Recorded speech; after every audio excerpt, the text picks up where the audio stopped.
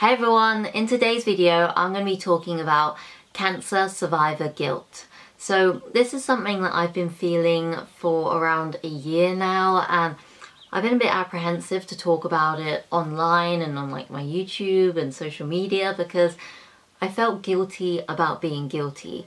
Uh, but recently I actually attended uh, the Find Your Sense of Tumour weekend run by Teenage Cancer Trust and they actually had a conference on that you know explained a lot about this topic and it made me realize that I'm not the only one who feels this way and um, it is actually a big issue. So to, in today's video, I want to talk to you guys about my feelings towards cancer survivor guilt and also how to cope with cancer survivor guilt. Over this past year, I've had a fair amount of friends who have passed away from cancer and I think that's what's really spiraled this cancer survivor guilt that I'm feeling inside because grief comes in many forms and for me it was almost bottling it up and thinking why them not me? Um, and you know in the cancer community you make such a tight knit group of friends and you all have such a strong bond with each other that when one of those friends passes away you almost feel feel responsible for them as if that if I've survived why haven't they? And it's really hard to deal with because you almost feel start feeling responsible and you start feeling really guilty when in actual fact you should really just almost feel sad but also just try and remember that person um, for how amazing they were. And try and almost move on in some way they wouldn't you know that person wouldn't want you feeling sad and guilty about their death they'd want you to get on with remission and um, do well and think about your own journey.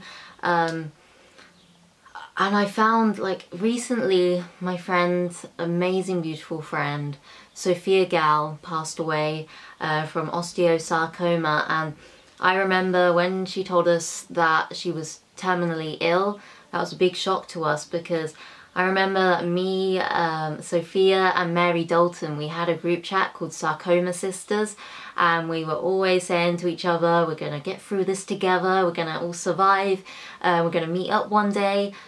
But that's just never going to happen now because Sophia passed away and that was really hard to deal with because I almost felt guilty that she passed away because you know, you never want to see one of your friends pass away and it's almost as if, say you get in a car crash, uh, say there's four of you in the car, you all sustain um, similar injuries, but you survive and then the rest of the people in the car pass away. You almost feel guilty that you were the one that survived. Um, and it's hard to explain to someone because uh, whenever whenever I have kind of told anyone about this, they've felt they've told me um, try and think about yourself and try and think about your own journey and try and um, you know just live life in remission and uh, you know they've kind of just told me quite logically that not everyone survives and you've kind of got to accept that. But I find it very hard like very difficult to accept that. And I found um, I've also found it extremely difficult when uh, my friends with the exact same cancer as me, exact same stage of cancer as me, have passed away. So recently, my amazing friend Holly passed away from stage 4 alveolar rhabdomyosarcoma and that was extremely difficult to deal with because I felt as if I was like the lucky one and um, why did she pass away and not me? We had the exact same cancers, exact same diagnosis, exact same treatment, yet it worked for me and not for her. So that is, it's hard to get your head around. It's really, and it, it is a real burden on your mind. Um, and you start feeling as if, am I next? Uh, I feel like, oh my god, am I am I going to relapse next? Am I, um, is it inevitable that I'm just going to pass away from this cancer? I feel like I feel a similar sort of feeling when my friends relapse, especially those with the exact same cancer as me, because I feel as if, um, why have they relapsed and not me? Like, what do I deserve to survive? Um, and you know, not go through this whole horrible journey again? Why do they deserve to go through this horrible cancer journey again?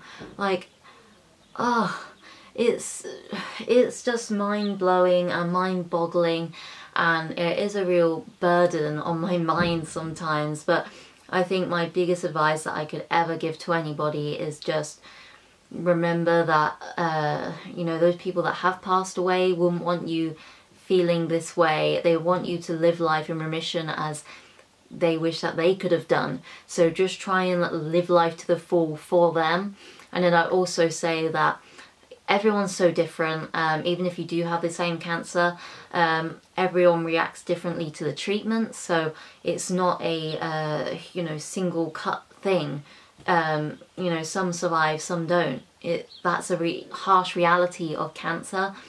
My last piece of advice is uh, just to be there for those people who are terminally ill and be there for those people until they finally pass away I think that's the best thing that you can do um, because, um, you know, I find with cancer survivor guilt, you're almost self-loathing, you think about yourself a lot, whereas if you have amazing memories with those people who have passed away, then you can think of that rather than just directing all the grief that you're feeling on yourself and, you know, inflicting pain on yourself.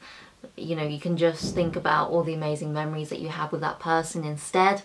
And yeah that's literally it. It's it's a really hard thing to cope with um, but you will cope. You do cope. Um, you've just got to try and stay positive and stay strong for yourself as well. And you have to you really have to accept that not everyone is going to survive. And I know that's the hardest thing because when you have cancer friends you want to all survive together and be there for each other but that's a harsh reality of cancer. It doesn't, it just doesn't happen, um, it, you know, and yeah, that's all I can really say to be honest, because it's one of those things that it no one can really get their head around it, and it is something that you just have to deal with day to day. There's no magical cure for it. I wish that all my friends will survive from cancer, but the harsh reality is that some of them won't. But yeah, um, I just hope you guys enjoyed this video. I've really enjoyed making this video just because, um, you know, I'm sure that some of you out there will be feeling similar thoughts to me. So do let me know in the comments because I'll love to read um, about your experiences as well. But yeah, uh, thank you so much for watching. I hope you really enjoyed this video. Uh, remember to like and subscribe this video. And yeah, I'll see you next time.